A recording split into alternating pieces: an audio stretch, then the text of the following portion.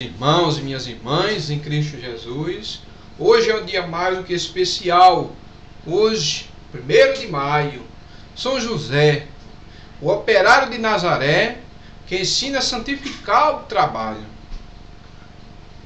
Em 1955, o Papa Pio XII instituiu a festa de São José Operário para dar um protetor aos trabalhadores em um sentido cristão, a festa do trabalho, uma vez que todas as nações celebram a festa em 1 de maio, na presença de mais de 20, 200 mil pessoas, na Praça de São Pedro, as quais gritavam alegremente: Viva Cristo Trabalhador! Vivam os trabalhadores! Viva o Papa! O Papa deu aos trabalhadores um protetor e modelo. São José, o operário de Nazaré. A figura de São José, humilde e grande artesão de Nazaré, orienta para Cristo, Salvador do homem, Filho de Deus, que participou em tudo da condição humana. A igreja, nessa festa do trabalho, deu um lindo parecer sobre todo esforço humano que grega dá a luz e faz crescer as obras produzidas pelo homem. Queremos reafirmar em forma solene a dignidade do trabalho, a fim de que inspire na vida social as leis da equitativa repartição de direitos e deveres.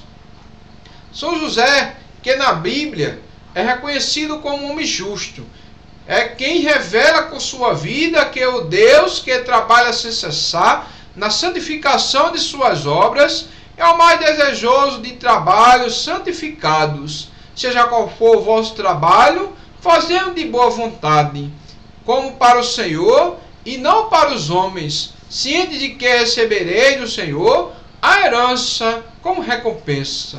O Senhor é Cristo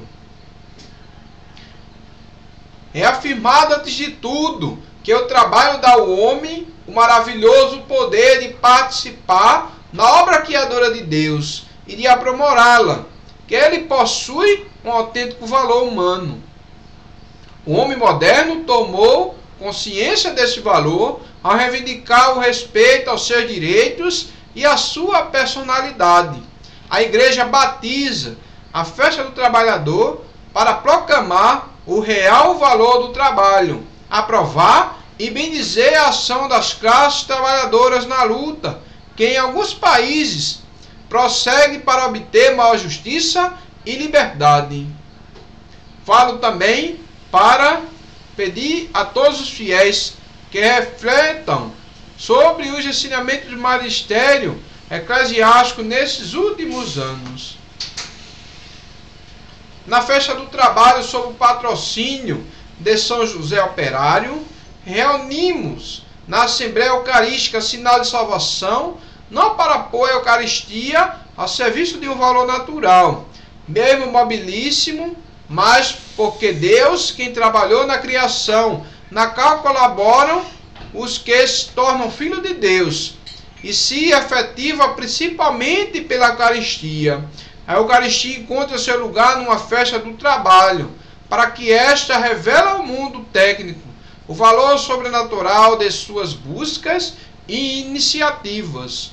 Nossa participação na Eucaristia, enquanto nos permite colaborar mais e melhor no trabalho iniciado por Deus, para criar um mundo novo, santifica a contribuição para darmos ao trabalho humano, ensinando-nos que isso é colaboração com a ação criadora de Deus, que é o verdadeiro objetivo de todo o trabalho, é a construção do novo reino.